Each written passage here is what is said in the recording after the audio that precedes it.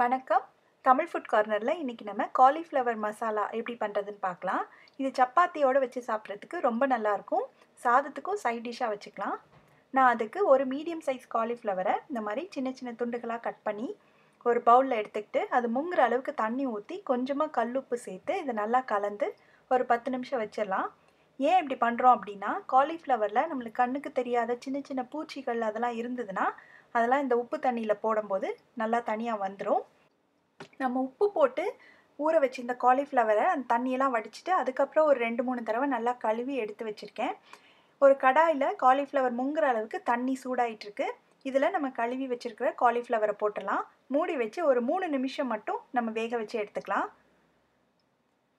இப்போ மூணு நிமிஷம் ஆயிடுச்சு. திறந்து பார்க்கலாம்.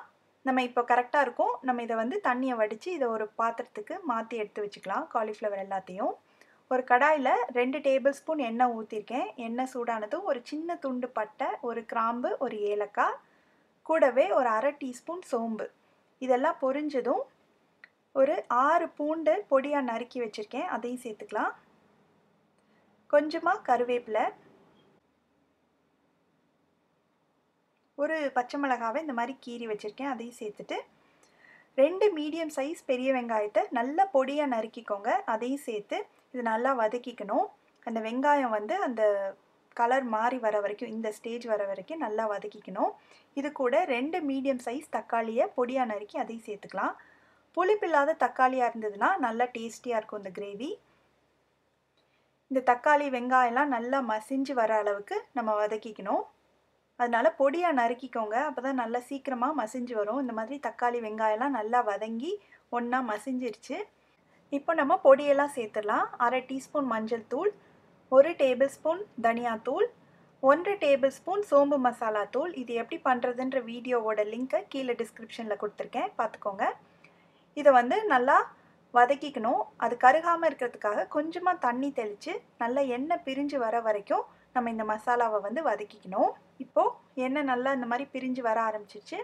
இந்த ஸ்டேஜில் நம்ம மூணு நிமிஷம் வேக வச்சு எடுத்து வச்சுருக்கிற காலிஃப்ளவரை சேர்த்துக்கலாம். சேர்த்து இதை நல்லா கலந்துக்கணும். மசாலா எல்லாம் எல்லா பக்கமும் படர்ற மாதிரி நல்லா கலந்துக்கலாம். இதுக்கு தேவையான அளவு உப்பு சேர்த்துடலாம்.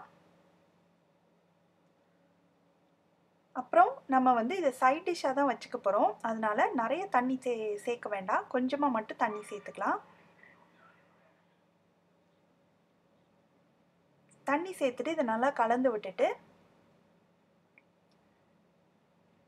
இந்த மாதிரி ஒரு இந்த மாதிரி கன்சிஸ்டன்சியில் வச்சுட்டு நம்ம மூடி வச்சு ஒரு அஞ்சு நிமிஷம் இதை வேக வைக்கலாம்.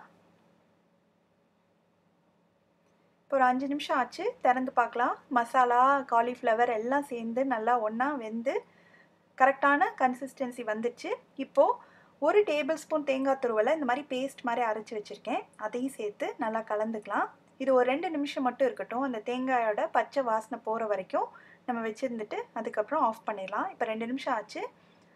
ஸ்டவ் ஆஃப் பண்ணுறதுக்கு முன்னாடி கொஞ்சமாக கொத்தமல்லி இலையை இப்படி கையால் பிச்சு சேர்த்துக்கலாம். ஸ்டவ் ஆஃப் பண்ணிடலாம். நல்ல ஸ்பைசியான டேஸ்டியான காலிஃப்ளவர் மசாலா ரெடி ஆயிடுச்சு.